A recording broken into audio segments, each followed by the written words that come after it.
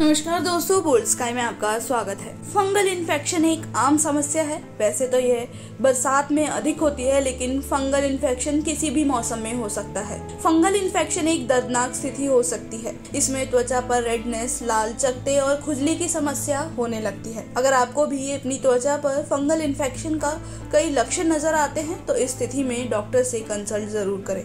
तो आइए जानते हैं इस वीडियो में कि हमें फंगल इन्फेक्शन होने पर क्या खाना चाहिए और क्या नहीं। फंगल इन्फेक्शन में क्या खाएँ?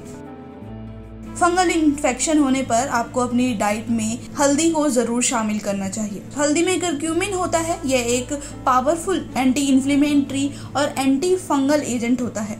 अगर आप हल्दी का सेवन करेंगे तो इससे इन्फेक्शन आदि को कम करने में मदद मिल सकती है। लहसुन। फंगल इन्फेक्शन को ठीक करने के लिए आप लहसुन को भी उपयोग कर सकते हैं। लहसुन में एलिसिन अधिक होता है। आपको बता दें कि एलिसिन कवक और बैक्टीरिया को बढ़ाने में, रोकने में मदद करता है। फंगल इन्फेक्शन के लक्षणों को कम करने के लिए आप लहसुन को सुबह खाली पेट खा सकते हैं। गुनगुने पानी के साथ लहसुन की एक दो कलियों का सेवन करें। इससे आपको लाभ मिल सकता है।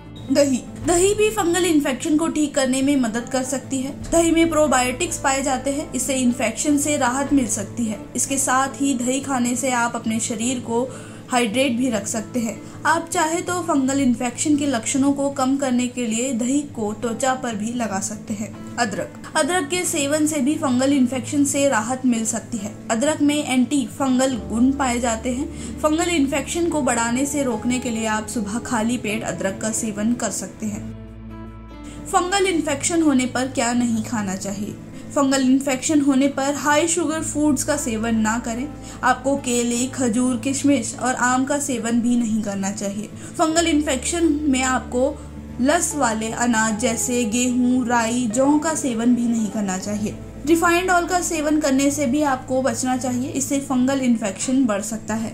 इसके साथ ही आपको मूंगफली, काजू और पिस्ते का भी सेवन करने से बचना चाहिए। तो दोस्तों, इस वीडियो में फ़िलहाल इतना ही। वीडियो आपको कैसा लगा, हमें कमेंट सेक्शन में ज़रूर बताइएगा। वीडियो को लाइक, शेयर और चैनल को सब्सक्राइब करना मत भूलिएगा।